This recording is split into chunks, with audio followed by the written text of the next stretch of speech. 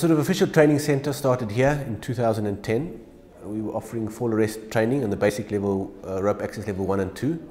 Um, and, and the reason we started it was because there's definitely a need in the industry. Uh, we were using a lot of technicians and we were sending them elsewhere to get trained and that was costing us money.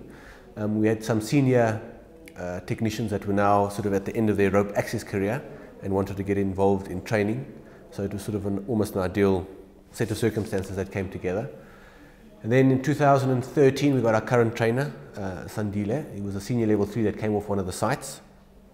And he had a lot of experience with regards to the bolting, the rigging, and the sort of the big challenges our technicians are facing, where they're given the right skills with regards to rope access, but the, the, the, the actual work that they're doing on site, the rigging, bolting, we need to give them that extra training just so they had a better idea of what they were doing, which uh, assisted with safety and production because then the guys were properly trained in the equipment they were using and it made the, the service offering for, by Skyriders 10 times better.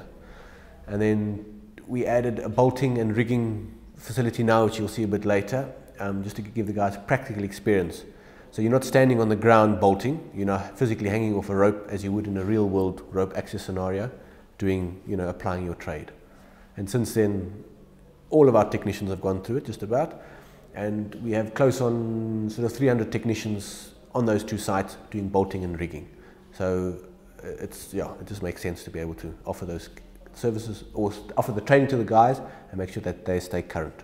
Personal opinion, a lot of training institutions are there purely for the money. So they will, it's almost like a, a sort of proverbial sausage machine. It's just a case of as many guys you can get in, regardless of, of, of the quality of the training you're offering the guys, it's just pushing the numbers. And we've seen a lot of it in the work at height industry where it's just a case of uh, a few hours training for basic fall arrest, which is nowhere near adequate enough to make sure that the guys have got the proper skills to be able to work safely at height. A lot of the guys don't have uh, English as a first language, so you've got to make sure that the guys fully understand in their own home language the, the practicalities of a work at height and how to stay safe. Because as we all know, work at height, if you make a mistake, it, it can have disastrous, uh, a disastrous ending.